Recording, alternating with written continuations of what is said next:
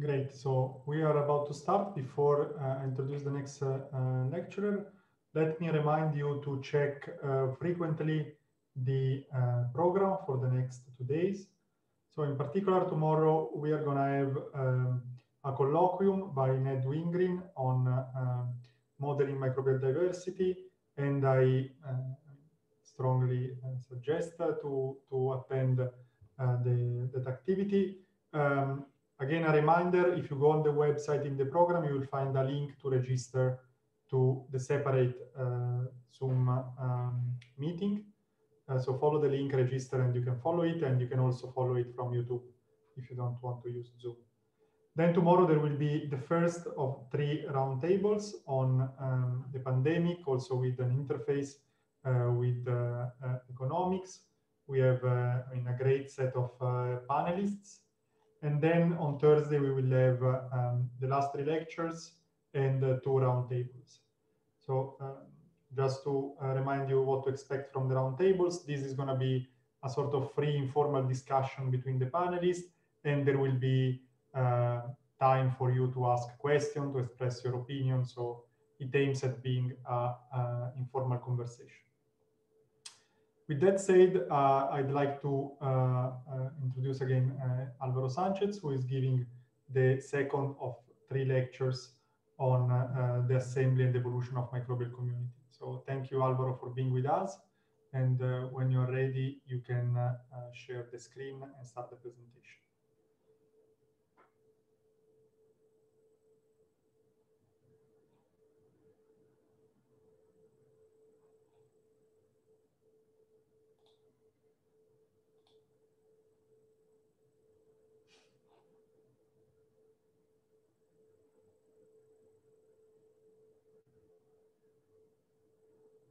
I think you're muted. Am I, am I muted? Um, can you hear me okay now? Yes, perfect. Perfect, perfect. Um, okay, so let me see if I can move this here. there you go.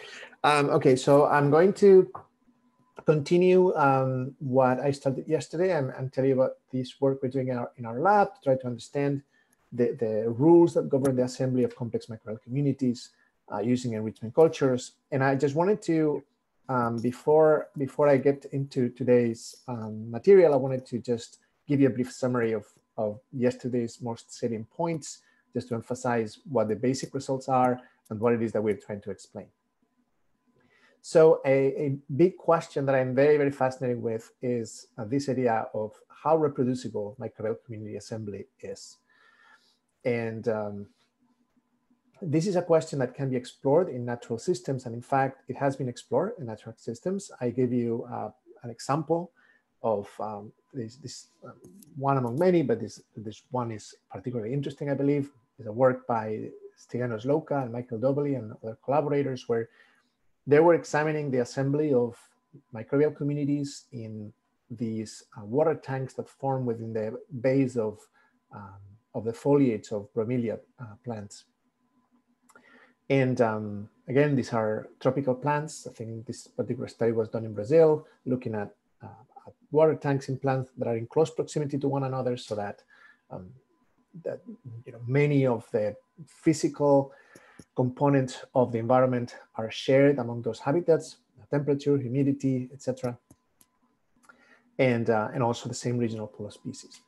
So when these folks looked at the microbiome of these different plants, um, they found that they did not contain that, that they, they, were very variable right, from plant to plant and most of the plants uh, most of the OTUs were uh, were uh, absent from from each other and only about one percent or less of the of all the OTUs um, were shared among all plants. So there was a lot of variation within at the species level in these microbiomes Yet when they looked at the metagenome and they examined the abundance of, uh, of different uh, genes involved in non-metabolic pathways, they found that the fraction of the, of the metagenome devoted, for instance, to fermentation, to respiration, to carbon fixation, uh, nitrogen respiration, and so on and so forth, uh, those were very, uh, very consistent from plant to plant. Right? And they found very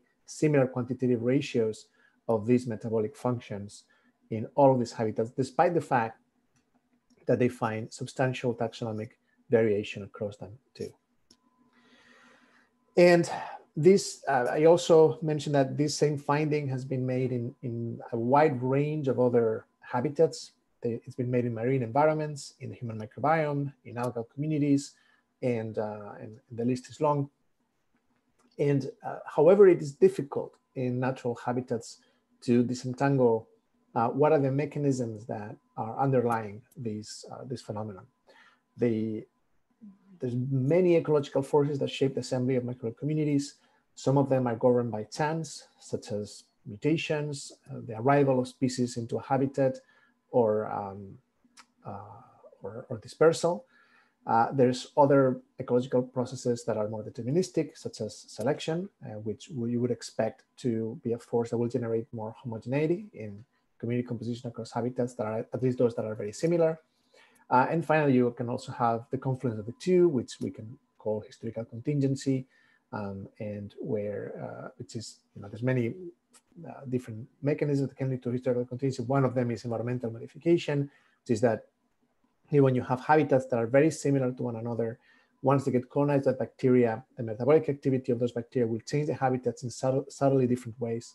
And, um, and that will cause um, an inevitable uh, uh, level of historical contingency because when you have different taxa, different habitats getting colonized by different bacteria by random dispersal, those habitats that were originally very similar will become less and less similar um, as a function of time. So um, what we have next is that um, the problem to understand um, this this question of of um, um, of reproducibility is that in addition to being many different uh, ecological forces that shape the assembly of microbial communities, uh, we also have that um, the selective pressures that are present in in most natural habitats are very difficult to to know, right? We we may uh, infer them or we might um, try to um, to guess what the selective pressure might be uh, through data or through just knowledge of the environment. But there are many different, uh, the, if, if, you think about it, right, we, we really don't know uh, all of the physical and chemical and nutritional um, niches that might be occurring in a, particularly because they're so small, right? Many of these are molecular um, and, and really understanding in, in detail uh, what are the forces that shape um, selection in different habitats is something that is um, very, very difficult to do uh, in nature. So the approach that we follow in my lab is we're trying to ask if um, it is possible to study the process of microbial community assembly um, in a synthetic, in synthetic habitats where we can know the selective pressures, um, we can know the chemical composition, uh, of the, uh, and the nutrient composition of these habitats. We know exactly uh, what niches are we supplying, right? Um, and we can also know for a fact what is the, the, the all of the spatial determinants of microbial community assembly. We can fix them. Uh, we can know the temperature, the pH, and we can control all of these factors. And we can also control ecological factors and ecological processes that contribute to microbial community assembly. We can control the, the, the rate of migration from the regional pool. We can control what is the composition of the regional pool.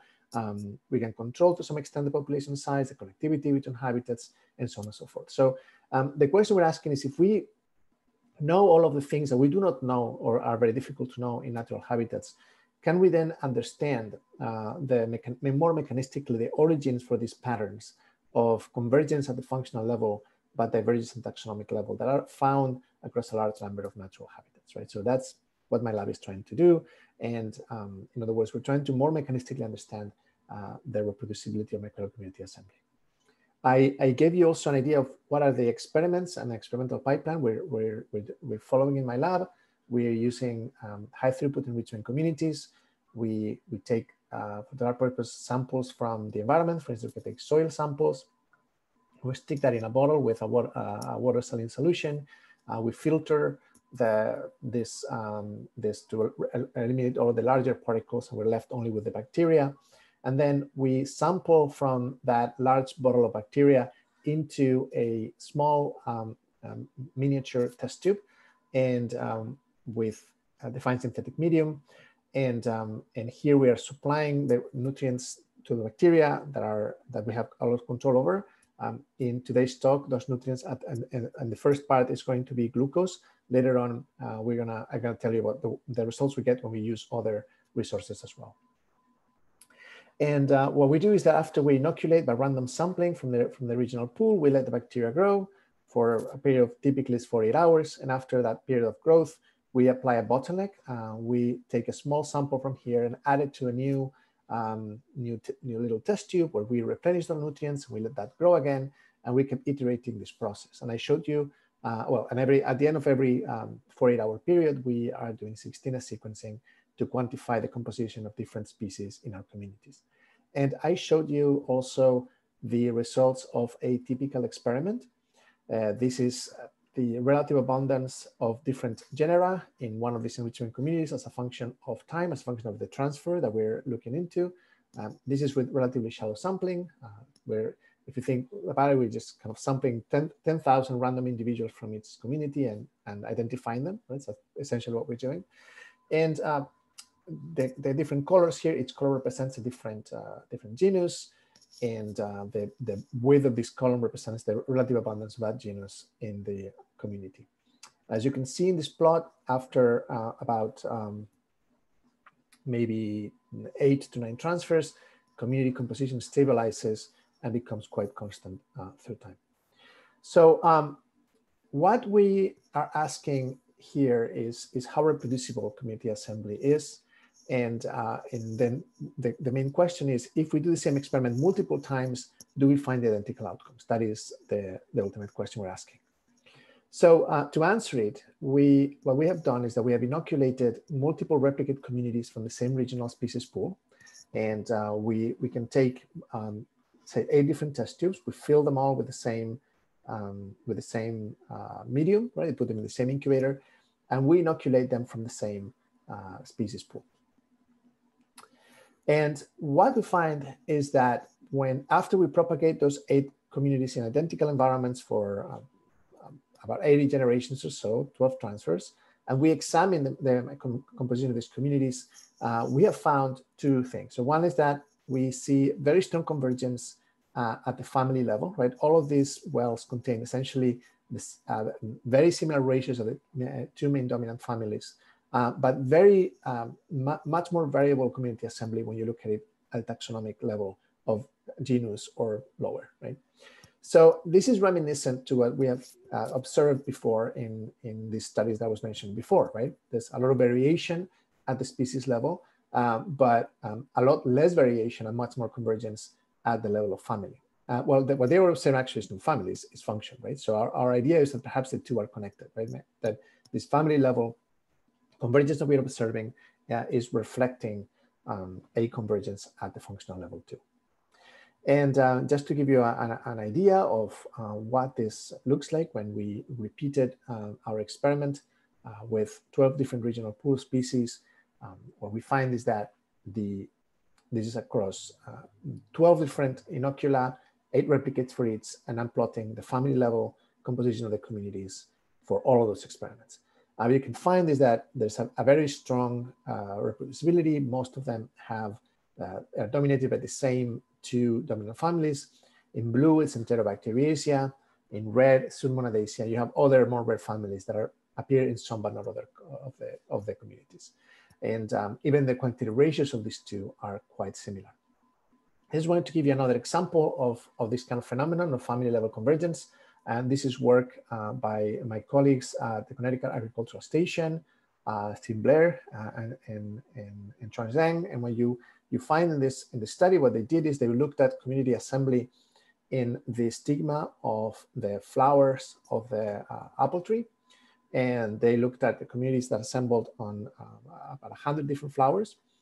And one of the things they found is that, uh, again, they find uh, fairly consistent uh, community assembly in, uh, in, in, these habitats at the, at the family level of taxonomy with Enterobacteriaceae again in blue and, and Pseudomonadaceae in red, uh, which are found in, across all of these flower communities. Yet they find a lot of variation at the species level. If you look at the um, the different OTUs within Pseudomonadaceae and the, and the, and the OTUs within Enterobacteriaceae, you find that even though at the family level these communities are very similar from one another, um, they contain different specific members of each family, right? So this result again is consistent with this uh, with this pattern. But in this case, again, they're finding this this pattern not at the level of function, but at the level of family, which is what we did. And I'm just uh, plotting uh, these two things side by side so you can get a, an idea of, of, of the results are I mean, of course, they're not identical, but this, these environments are very different, right? We're talking about a flower uh, and a um, and a um, sugar-based synthetic medium. It's uh, interesting because the um, we think that the environment that these microbes are experiencing in the flower is, at least the nutritional environment, is not that different from what we find in our, in our experiments. Anyway, well, this is all is painting a picture that that um, presents a number of questions. So the first one is why do so, so, many species coexist on a single limiting resource? And this was the subject of yesterday's um, this, this lecture. Um, second um, is um, we what we need to understand is why is community assembly so convergent at the family level? Uh, again, in our experiments, we're observing family level convergence. In, in, in, in others, they found functional level convergence, right? So we, uh, we need to uh, try to understand that better mechanistically. And in tomorrow's lecture, I will be talking about um, why community assembly is so variable at the species or genus level. Um, and again, this was yesterday's, and that's going to be uh, today. Okay, so today's uh, what I what I wanted to to to go through is the work we've tried to do. I, I, I try to understand why why we're finding these results. Why do we see that community assembly is so convergent uh, at the family level? And um, matching this with the results that I have been, um, you know, hammering to you yesterday and today, uh, our, our, first guess is that this is actually reflecting some form of functional convergence. Right? Um, and, uh, and, and to test that idea, what we did is very simple. We took um, 13 or 14 of these, I can't remember the, number, the exact number uh, of the communities that we had, uh, I had shown you before that we had assembled in, in glucose as the only uh, carbon source. Right? So we took those communities and we, we did uh, dilutions and we spread them over um, agarose petri dishes. And we spread them at, at very low uh, densities of cells so that we could, um, uh, it, when cells would grow on, on these petri dishes, they would form little colonies and cells from different species form colonies that are different from one another, right? So we could take those um, those colonies, then we, we, we, we sequence their uh, ribosomal uh, DNA to, um, to, to understand who they were and what was their, uh, their identity and compare those with the 16S um, uh, ribosomal RNA sequence that we had previously obtained from uh, community level 16S sequencing. And the two matched very nicely. So we were able to isolate a large number of the members of uh, 13 different communities uh, for a total of around 100 different Pseudomonadaceae and Enterobacteriaceae strains. Right? So we were able to take the members of those communities and separate them, right, and grow them in, in, in isolation uh, from the community where they were isolated. And what we did then is that we, the first thing we, we wanted to do is we wanted to ask whether the Pseudomonadaceae and Enterobacteriaceae, which is these two families, uh, would differ at the family level in the growth rate in glucose. I remind you that glucose is the only carbon source we're supplying and that Enterobacteriaceae is about uh, two to three times more abundant than Pseudomonadaceae in our communities. So we wondered if that was because Enterobacteriaceae is actually better at growing in glucose than Pseudomonadaceae is. And uh, so what we did is that we took each one of those isolates and we grew them on media containing, that is exactly the same medium uh, where our community had been assembled. It is minimal media. For those of you who, know, who are knowledgeable about this, this is M9 medium with glucose as the only carbon source. And we determine the growth rate by, by, uh, by just looking at the growth curve uh, over a period of about 48 hours. We determine the maximum growth rate of the Enterobacteriaceae strains and the Pseudomonadaceae strains uh, individually. And we're plotting them here, right? And in blue, I'm showing the growth rate of the Enterobacteriaceae. In purple, I'm showing the growth rates of the Pseudomonadaceae. And as you can see, the um, grows better um, and reaches higher growth rates than the Pseudomonadaceae as a, as a family. So uh, what we find is that uh, at the family level, there's conservation in the growth rate of uh, in the supplied resource, right? Which uh, may explain why so is uh, observed at higher abundance than Pseudomonadaceae.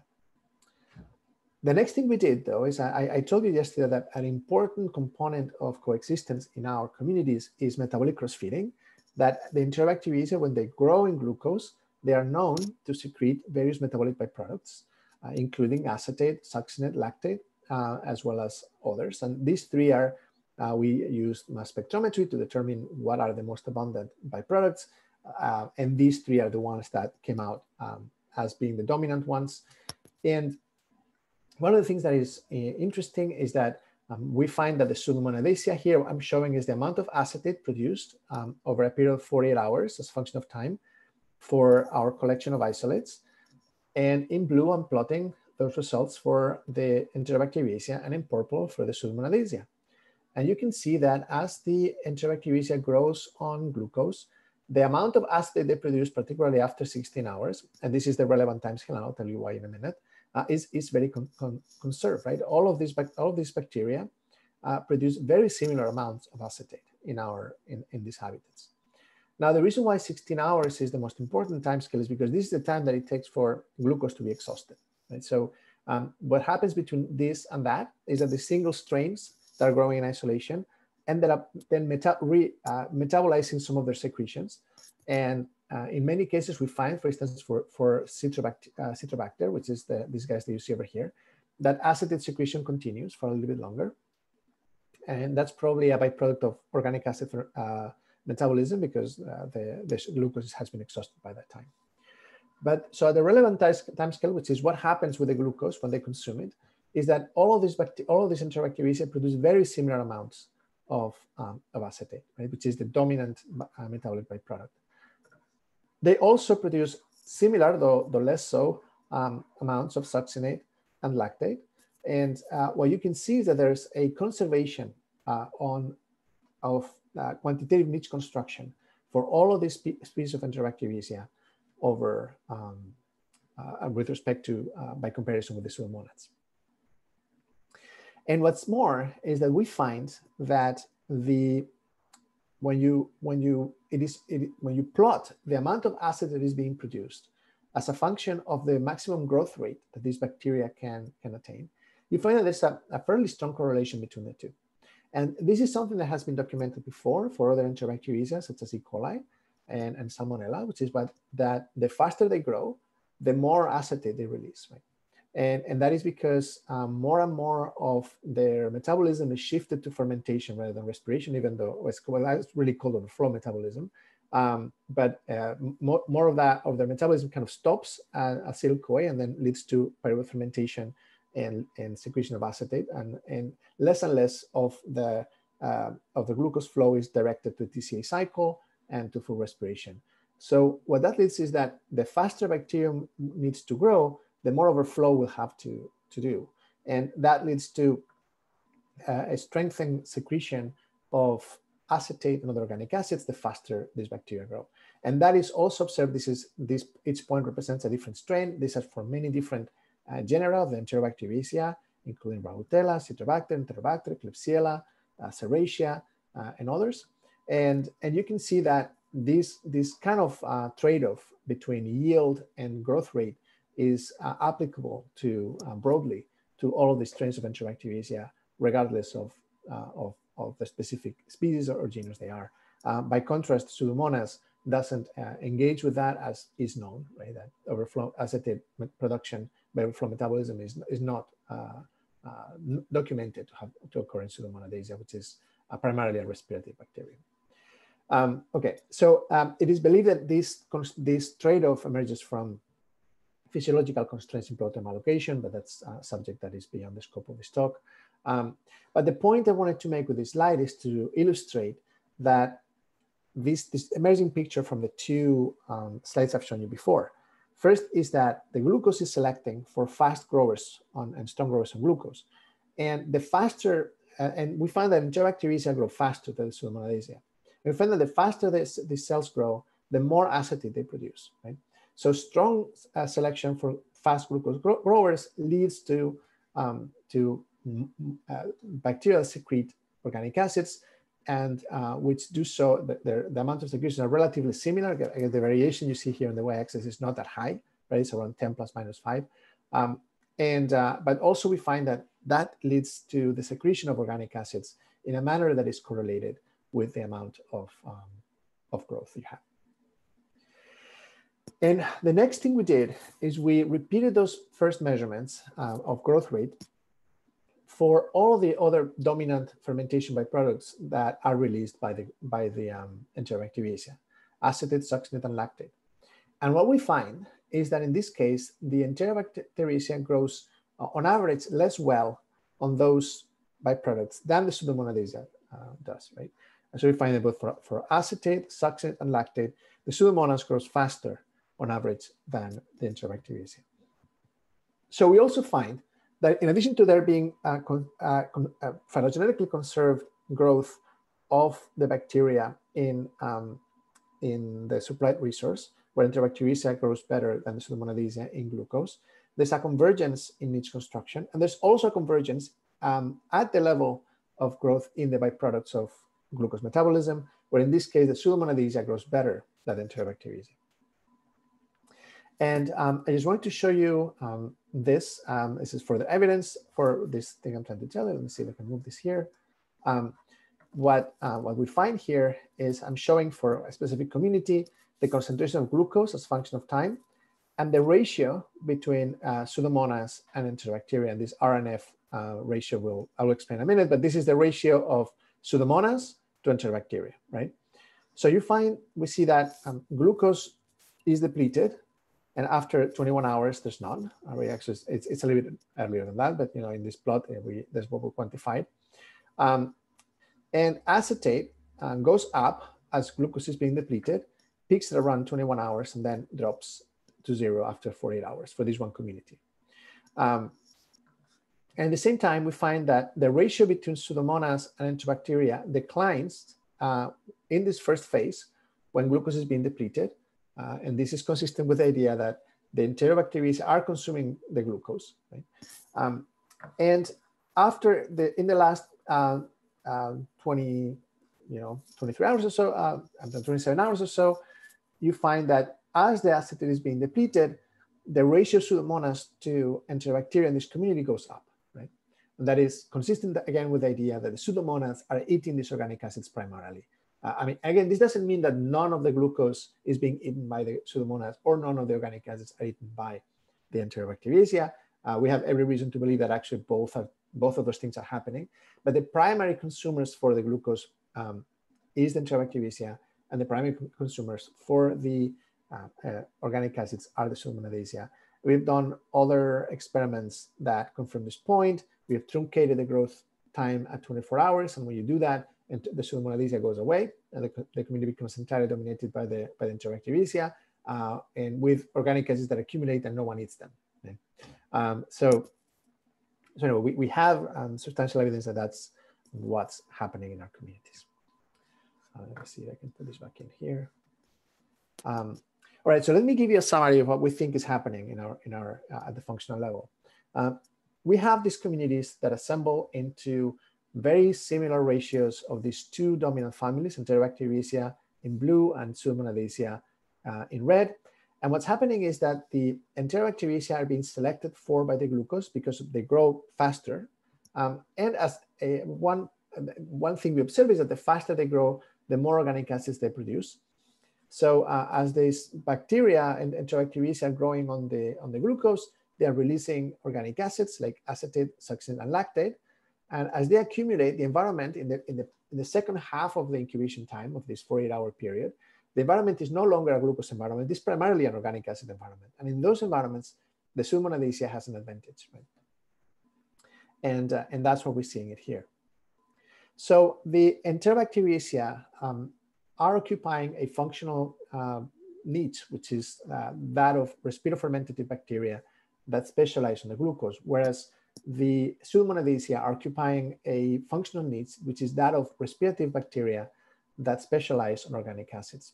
And uh, we call res this respirative uh, functional group R and, and fermentative group F.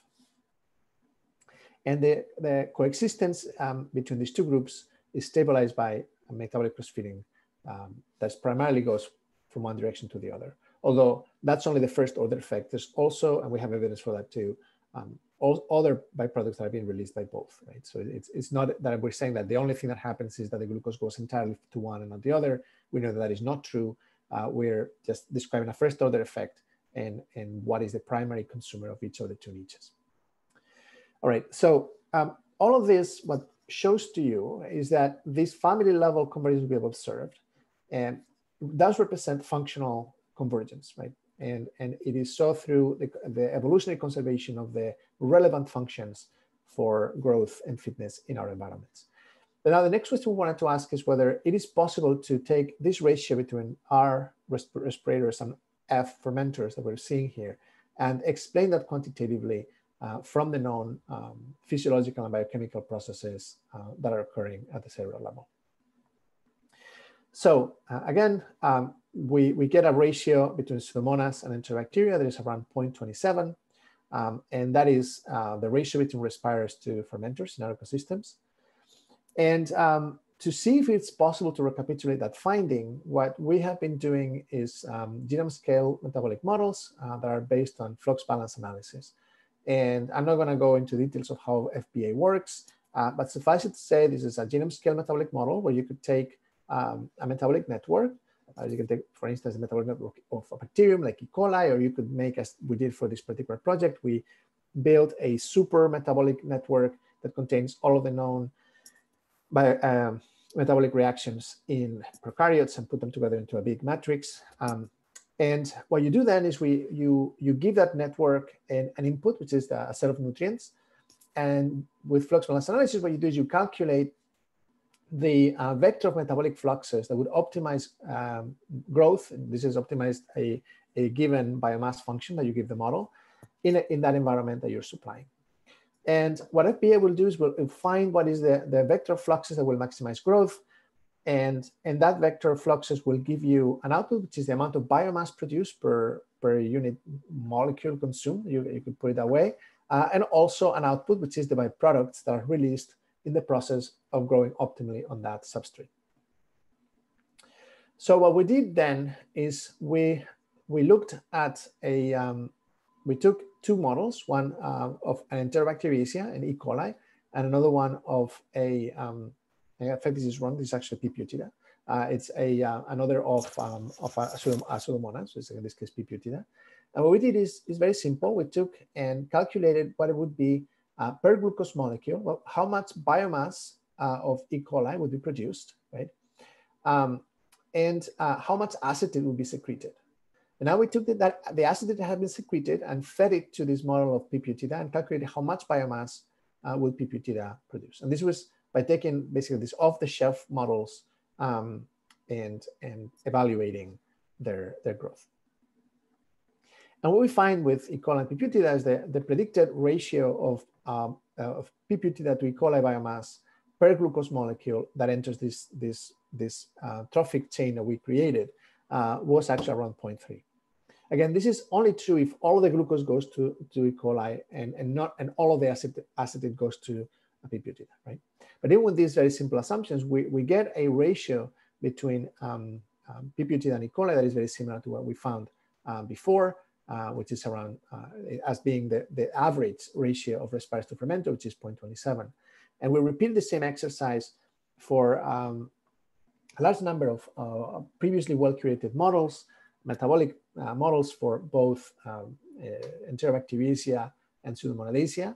And for, for each of those models, we calculated the, we did exactly the same exercise that I showed you before.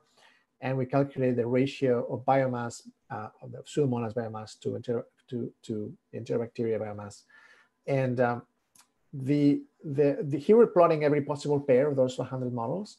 And you, you find that actually that value of 0.3 that we just found before is not an outlier. It sits very, very close to the average uh, ratio that we find between a Pseudomonas and, and an Enterobacteriaceae biomass. And by comparison, we show you here the ratio of Pseudomonas to Enterobacteriaceae in all of our experiments. Uh, and the two are fairly close, right? this is really not a prediction per se. What we're trying to argue here is that one can explain these ratios um, from very simple uh, arguments and uh, assuming that, you know, making the, the, the, simplifying assumption that all of the glucose goes to the enterobacteria and, and all of the byproducts go to the uh, monadesia. And when you do that, as some, that simple exercise, what you get is something that seems very similar to what we find um, in our experiments. Um, right, okay, so now the, the, the, last thing I wanted to show you is uh, results that we've collected a, a while ago, uh, and, and it's the, the, this paper is now being written at the moment, and where we did uh, the same experiments, but on a large collection of other sugars. And here the question was, okay, we, we found that this ratio of around 0.3 uh, of Pseudomonas to enterobacteria or Respirus to fermenters um, and we find it for glucose, right? But uh, how different would it be if we had done used other sugars? What if we had used, I don't know, galactose, uh, which is another hexose, or, or, ribose, which is another sugar, in this case, a pentose, or, or any other sugar alcohol uh, like, like inositol, mannitol, or glycerol, right? So we did that experiment. We repeated the, the, this, this enrichment experiment that I've been discussing before uh, using two different inocula. Um, these were two different potted plants in, in, in, in Josh's house. And um, from, that, from that soil, what we did is we established communities on environments that contain either one of these sugars in isolation. This again, not all of them this mixed, but one at a time, right? And here on the on the on the x-axis, I'm plotting the identity of the of the sugar we're, we're adding in. On the y-axis, I'm going to plot the ratio between Respirus um, and, and fermentative bacteria. This dashed line marks the average of the glucose communities that we have uh, seen in the, in, in, we have been showing you before.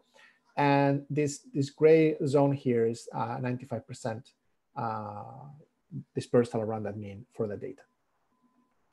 Right, so when we, uh, when we plot this data on this plot, what you find is that for all the sugars, the um, we find a very similar metabolic structure, right? That the ratio of Respirus to fermenters are um, ex extremely close to the value that we found for glucose. Uh, but there are some outliers, but by and large, the results are, are very, cons very consistent. And just as a control, we wanted to see if, okay, what if we don't use a sugar, right? What if we use a, a metabolite, a nutrient that cannot be easily fermented and, and would be more likely to be respired? And to that end, we used a collection of different organic acids many of which are fermentation byproducts, but others are uh, just, you know, uh, components of the TCA cycle. We also used some um, organic alcohols and a, and a, bunch of other, uh, other nutrients and, and repeated the same experiment from the same two inocula, but now we assemble them on each one of these uh, collection of, of nutrients. And we find is that the ratio of Respirus to fermenters when you do not use sugars is very different from what you get when you do use sugars. And um, this, this experiment is quite interesting. For instance, I, I think I particularly like this data. This here is pyruvate, which is an organic acid that sits uh, in between glycolysis and the TCA cycle, right? And, and it's kind of intriguing that, that you get something that is kind of a transition in between the, the, the kind of uh, ratio between Respirus and fermenters that you see in the sugars and this cloud that you see here when you use organic acids. Okay, so uh, I guess this plot would make the case that when you have similar nutrients, you are expecting to see similar, um, similar community compositions. Um, but can we more quantitatively define what nutrient uh, similarity is? I mean, we, are saying that sugars are similar and organic acids are similar to one another, uh, but I'm basically waving my hand so far, right? Uh, can, can we make a more precise definition of how similar uh, to, to different nutrients are? So uh, we, again, resorted to flux balance analysis. And what we're doing here is very straightforward. We're taking a, um, again, our metabolic model, and we're feeding it different nutrients, right? So for instance, we're feeding uh, one nutrient, and we're calculating the vector of metabolic fluxes, and we can plot this vector in, in that space of metabolic fluxes. And now we could take and uh, through the same metabolic network, I mean, we can in this case, what we're doing is we're constructing a universal metabolic network that contains all of the biochemical reactions, uh, uh, metabolic reactions that are known. Uh, and we're asking what would be the optimal way to metabolize each nutrient, right? So this is the vector of metabolic fluxes for nutrient A. This is a vector of metabolic fluxes that would be optimal for another nutrient B. And the distance between the two uh, can quantify how different those two are, right? So if two nutrients are very similar, uh, then they're going to be metabolized optimally in very similar manners, right? Uh, and if they're very different, they're going to metabolize uh, in, in, very different manners, right? For instance, glucose and galactose are metabolized very similarly, and they're going to give you a very small distance between the two, whereas glucose and, uh, I don't know, uh, leucine are going to be metabolized more differently, and um, they're going to give you a, a larger vector here, uh, a vector with, with larger distance right? So the next thing we did is um, we, we took this library of carbon sources that we had that we had studied experimentally, and then we calculate the metabolic distance between all of them. And um, the first thing that, and then we did simple hierarchical clustering. And, and, one of the things that was very reassuring is that the, the results we got from this exercise um, made a lot of sense. We find in this dendrogram that all the sugars are clustered together. Um, all the carboxylic acids and organic alcohols are, are also uh, uh, uh, clustered together. We also find that within the, this, uh, these two groups, their structure, here you find in this, this neighborhood around here, um, most of the hexoses uh, and all this glucose containing um, uh, disaccharides. And here you find the most of the sugar alcohols and the, and the pentoses. And here's the same thing, right? In, in this um, cyan group over here, you find all the TCA cycle intermediates. These are organic alcohols and, and so on, right? So that there, even there is within this, the structure that makes sense, right? That, that one would expect perhaps that those nutrients would be more similar to one another or less. Um, right, so, so then what we ask is to what extent this similarity between carbon sources can predict quantitatively um, similarity in community um, assembly in those nutrients. And we find is that, that it does actually do a, do a very good job. So uh, here I'm showing you the composition of um, at the family level for uh, all of the sugar and sugar alcohols. Uh, here now in blue, you find the inter Enterobacteriaceae, and in green, the Pseudomonadaceae. This orange guy here is Alcaligenaceae. Um, and if you compare that with the organic acids and the alcohols, you find that it's, it's quite different. Uh, in most cases, the Enterobacteriaceae is gone, and these are dominated by, by respiratory bacteria like uh, Pseudomonadaceae, Alcaligenaceae, and others. But even within the sugars, the structure, in this first group that are, are made by glucose-like sugars, we find uh, very only very rarely that you find uh, alcaligenaceae. Whereas in, in this uh, other group of pentoses and, uh, and sugar alcohols, you find that alcaligenaceae is much more common. Um, and in fact, it's interesting that here in galactose, when it isn't, uh, actually this, this is probably just a, a, misclassification because of the, the nature of the hierarchical clustering algorithm, because uh, the galactose is a hexose. Um, the same is true for the organic acids and the alcohols. Um, if you look at the, the TCA cycle intermediates, you find that all of them contain Enterobacteriaceae here in blue. Um, and even within those, there's even structure. So this group here is formed by fumarate, malate, and succinate that they enter side by side in the TCA cycle. And all these three carbon sources recruit Rhizobiaceae, and they are the only ones that do, right? It's an endemic species for this group of carbon sources. Um, likewise, there's endemic species in this group here. Uh, Sphingomyelinaceae is, is not found anywhere else. And also there's a convergent uh, community composition uh, within uh, this other group as well. So now the question is whether the distance between nutrients can explain distance between composition at the family level. Uh, and what we decided to do is just plot one, once against the other, right? We can, uh, at the family level, you can also have the communities assembled in nutrient A uh, and the communities assembled in nutrient B, and you can calculate the the family level composition for both. And once you have both, you can calculate the distance between them, right? And when we did that, uh, we were plotting here the Euclidean distance in metabolic fluxes against the Euclidean distance in community composition. And uh, what we find is that uh, there is a fairly decent correlation between the two. And this is just a very crude um, measurement. I mean, we're trying now trying to extract, uh, do more, smarter ways to extract information simply plotting the entire distance uh, of the entire metabolic uh, space. Maybe the, there are some components that are more telling of how different uh, two, two nutrients are. That's simply the, the entire uh, distance of metabolic fluxes and to see if, if there's more signal that can be extracted this way, but this is where we are at the moment. Uh, we've been also using uh, machine learning algorithms to, to see if it is possible to predict what's going to be the communities assembled in a new carbon source from a new um, um, from a new inoculum. So just very basic doing cross validation at this moment. Uh, and, and what we find is that um, the, um, the, the, the, the, for the families that are most represented, like Enterobacteriaceae and Pseudomonadaceae, there's a very decent, um, um the, the, this, the, very simple machine learning model is capable of, of, uh, of predicting the um, family level composition. And the same is true for, uh, for function, which is even better, right? So if you now group the, the taxonomic uh, composition by whether they are fermentative or, or respirative bacteria, and then again, you, you train a model with one inoculum and uh, with a set of carbon sources, and then you investigate what would be the, the expected um, the, the expected uh, community composition from another inoculum in, uh, in, in one of the carbon that you left out of the training set.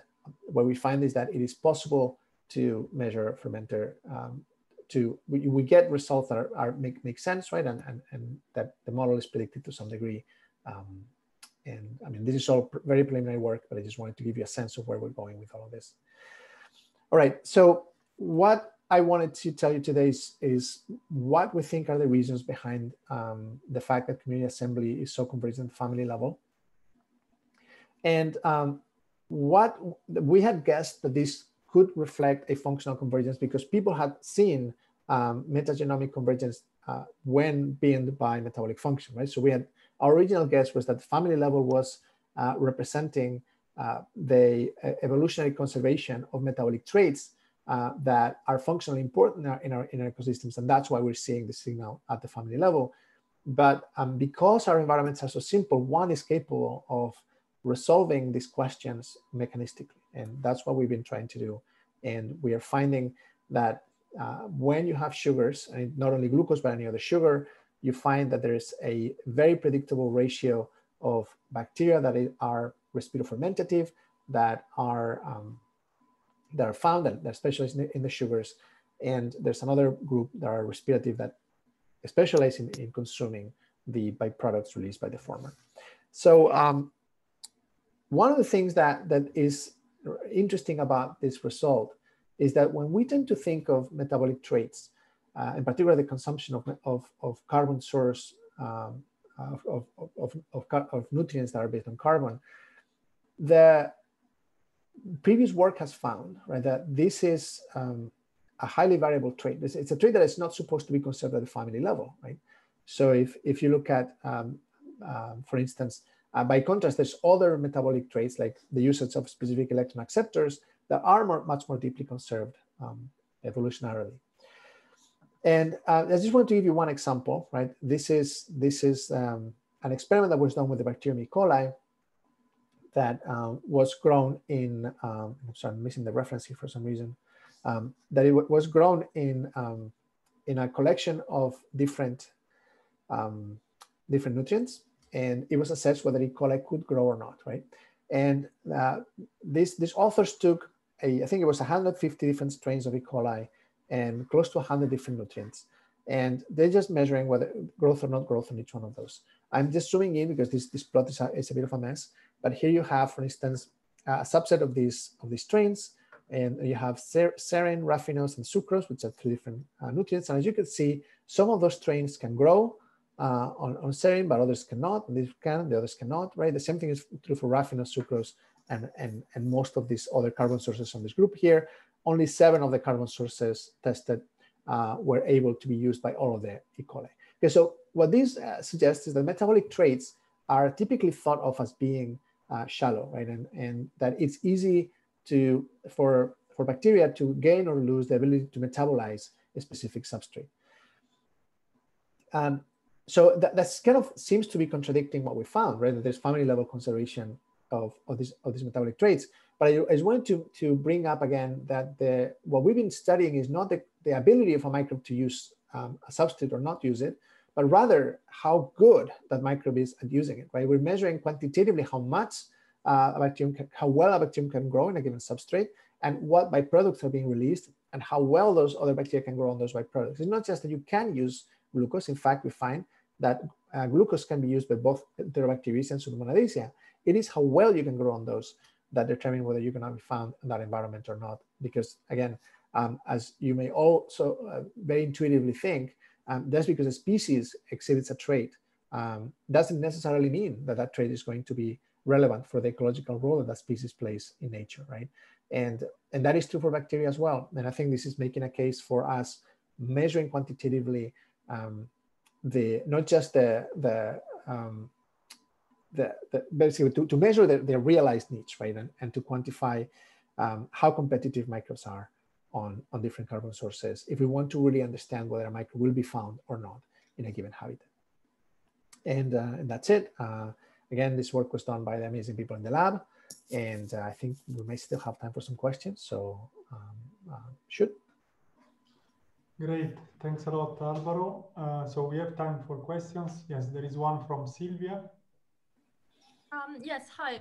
I wanted to ask a, a, very general question on the patterns that you showed also in the previous lecture and at the beginning, the fact that the um, functional composition and the family composition are constant. So I was wondering, can we um, compare these patterns with a null model that would tell us that we would expect more variability in the absence of a mechanism that brings this uh, uh, constant constants? Right. Um, right. Yeah. The question is, what would be the null model, right? I mean, like, um, I, yeah. I mean, like, it, you you may imagine multiple different null models for community assembly, right? You could have neutral models for community assembly. You could um, you could assume that uh, all nutrients that basically that all, all of these uh, species are equally good at eating all the nutrients that you that we're providing them. Um, so I guess yes, I mean, it, is it is completely possible to compare the expectation to uh, to null models, right? Um, if you just sampled randomly, the like I guess the, the simplest one is that if you say that you sample randomly species from the regional pool and and put them together, right? In in our um, and the question you may ask is then, uh, do you see the patterns that we observe? And the answer there is no, you don't, right? Like there is no uh, family level conservation of any kind. Um, and in fact, depending on what nutrient you add, you're gonna find different um, different species um, on each, right? So that, that already tells you that that there's a very strong selection that is shaping uh, the assembly of these communities. Um, and that, that's if you compare this to very neutral models. Um, and then of course, if you if you're trying to compare these patterns to other null models, I guess like, like always with null models, right? It, the null model will needs to reflect a, a null assumption or a null hypothesis, right? So um, so you would need to define what that null hypothesis is, and and then then and absolutely you could you could create a null model that that predicts what that expectation would be, and and and you could quantitatively compare findings with with that, yeah, or, or the, the patterns we observe with with that null model. Uh, but for the one, the very simple ones, which you may imagine is just sim simple random, uh, randomly drawing ESVs from the regional pool um, and asking whether the, the same is, is true, the, the answer is it isn't, right? Uh, we, we have checked and, and that is for sure not the case. But uh, as for other null models, uh, again, it would it would depend on what the, the, the null hypothesis that you're trying to, to disprove is. Okay, thank you. Uh, great. There is then a question from uh, Kiseok. Uh, hi, uh, thank you for the great talk. And my question is when you're constructing the, when you're doing the simulation with the FBA model and the experiments with this metabolic model for like Pseudomonas and Enterobacteriaceae, do you use like 100 strains for each of these uh, family or like how do you represent the family? Right. So we we took just models that were uh, well benchmarked, that people had um, in, in, done a lot of work with before, and so I could I could send you the list of the models we used if you're curious. Um, they some of them they're basically published models by other people that, um, and then we had to just adjust them a little bit to the specific um, environment that we had.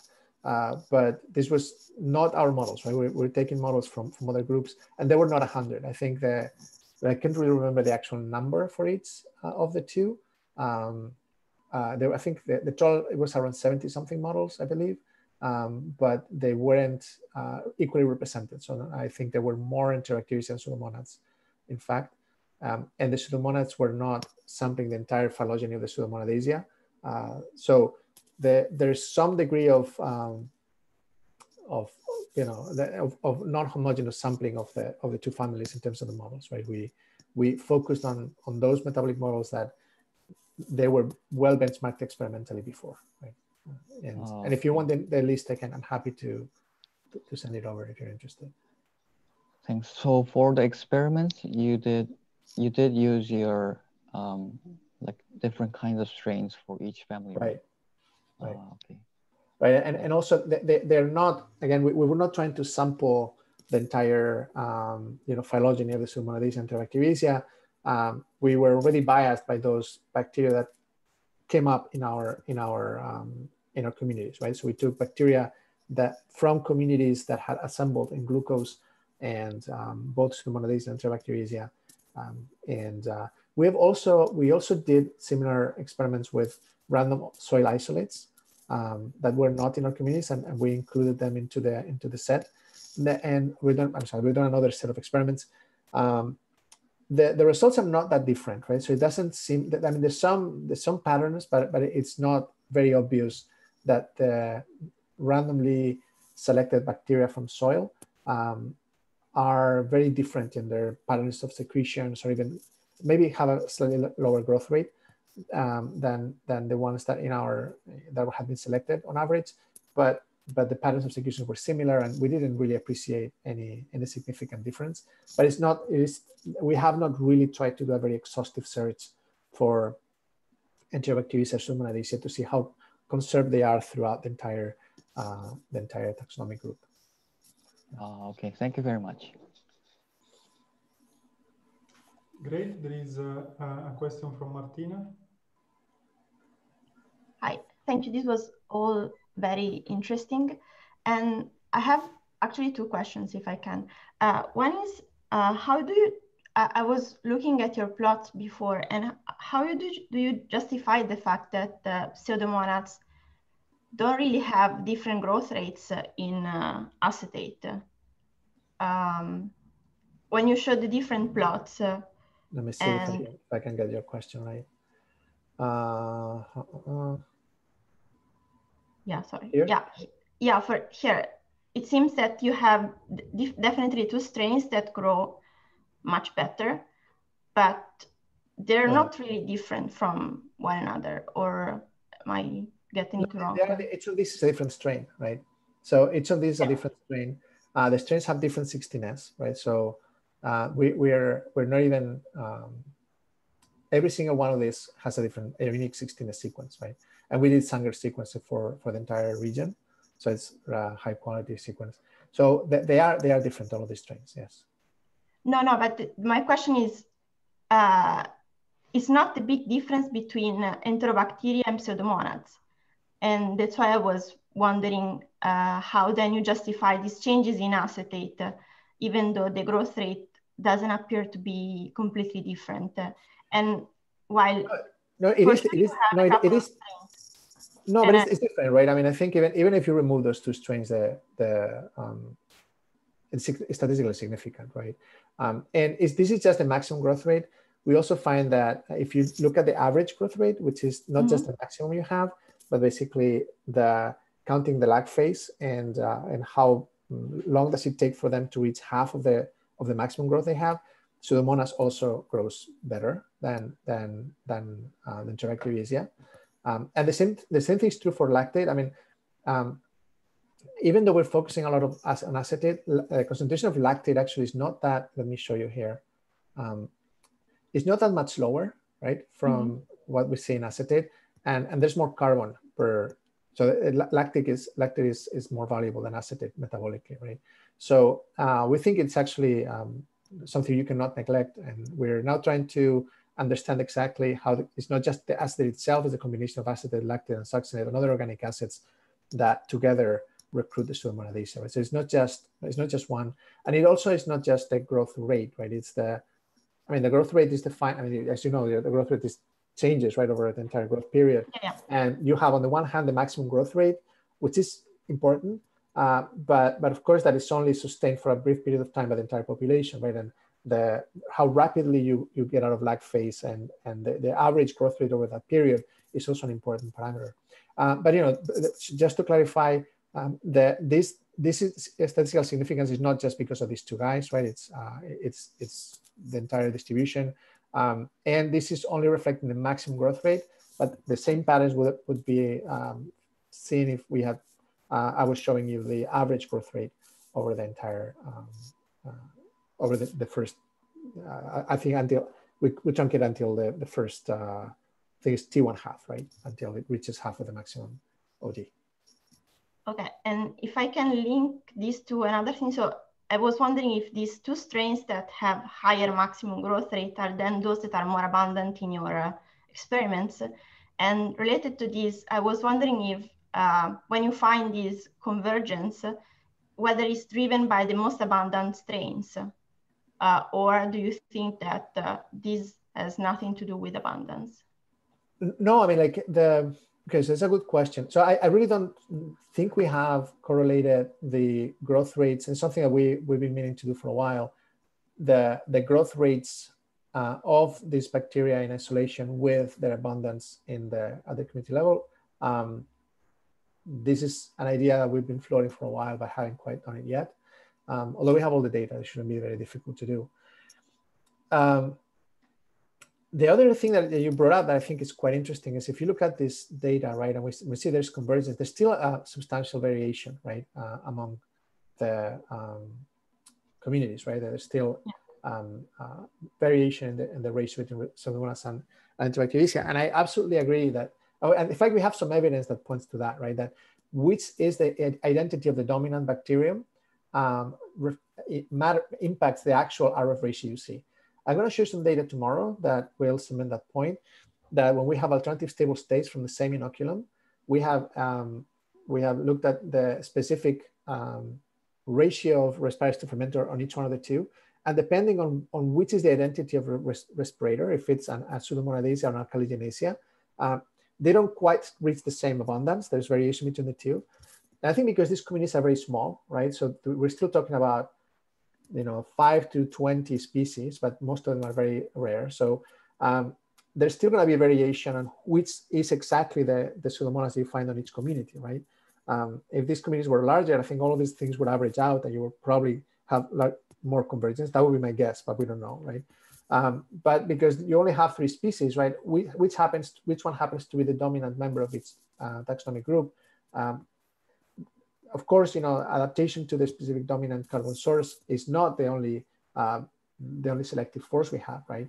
And and and all, any other differences, as well as variations on adaptation to a carbon source that we we also find should matter for this RF ratio. So that's what we're focusing on averages rather than than the fluctuations because this is an, an area we haven't yet explored.